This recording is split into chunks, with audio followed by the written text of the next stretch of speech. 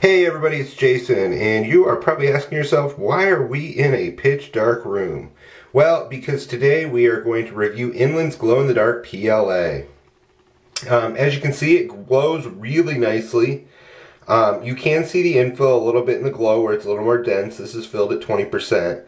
Um, obviously, if it was solid, that wouldn't be an issue, but anytime you've got something hollow, there's more glow in the dark material in the center than there is on the outside, so it's going to glow a little bit more.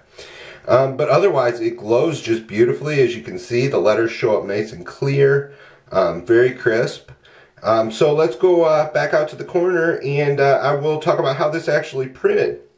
Alright guys, we're back here, we're back in the corner. Um, here's the piece we were actually looking at in there.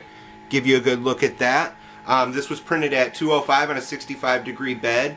Um, something I want to point out right away is make sure if you're going to print glow in dark, you've got yourself a hardened nozzle. Otherwise, you are going to wear out your brass nozzle really quickly. Um, some glow in the darks, not all, but some glow in the darks are actually more abrasive than a carbon fiber. Uh, so you're going to want to be very careful and make sure that you've got either a uh, plated nozzle or a, an actual steel nozzle. Um, either one of those should be fine, just no brass nozzles. You're gonna, I've heard as little as 300 uh, grams of the stuff run through it, and all of a sudden your 0.4 becomes a 0.6. Um, so that's just something to remember to start with. So let's go ahead and start with the packaging. Um, it's, like I said, it's inland. Um, comes in a basic box, nothing special about that. Um, same spool as all the other inland PLAs. It's got that nice feature of having the printing instructions on both sides of the spool, so no matter how you do it, it's going to be able to be read. Uh, it's wound nicely, works well. Um, it does come in a uh, vacuum sealed bag, desiccant bag in there. Um, it, it's Inland PLA. It, it, packages just like Inland PLA does. Um, the print. So as you can see, the print turned out really nice. Um, I expected to have a little bit more troubles with it being something, you know, a specialty filament. Um, none. It's fantastic. The only complaint I can come up with, the layer lines are hardly visible. Uh, the transitions on the indent here, hardly visible. Um, you can't even hardly feel them. The letters are crisp. The only thing, it's got a tiny bit of elephant foot. I think I could probably fix that by actually adjusting out um, and tuning it a little bit more. Uh, but other than that, I mean, I gotta have something that I can say that's uh, maybe not perfect about it. That's the only thing I can come up with. Um, this stuff printed, it printed lovely. I printed some other stuff uh, with this already as well, and, it just it just works like a normal PLA. Um, just remember to have that hardened nozzle.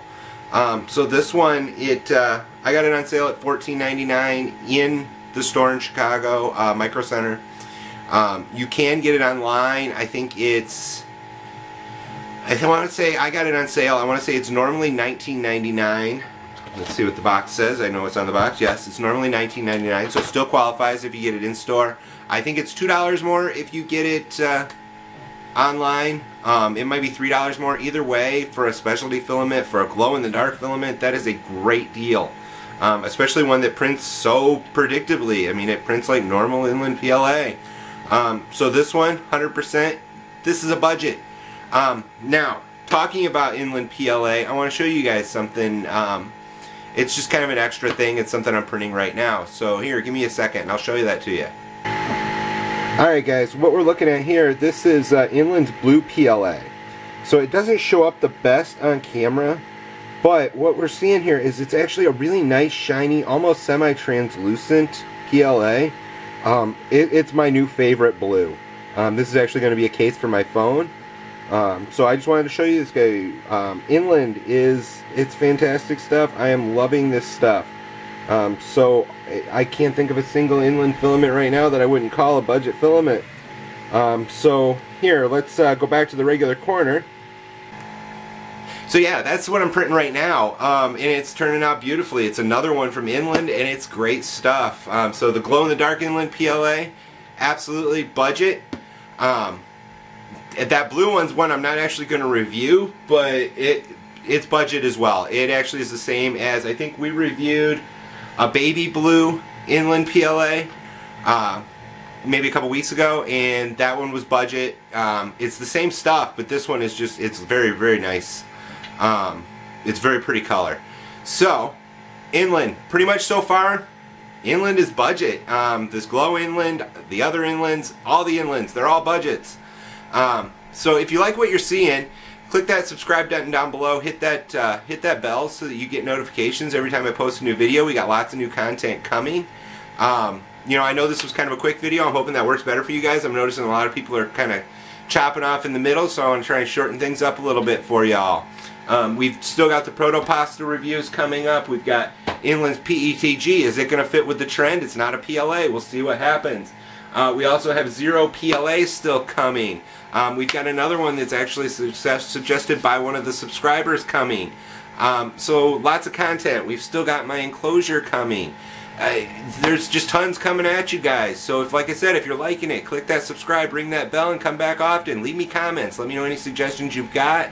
Uh, any uh, ideas you have. I'm always looking for content ideas. Let me know. I'm Jason. This is the 3D Printing Corner. Everybody have a good afternoon.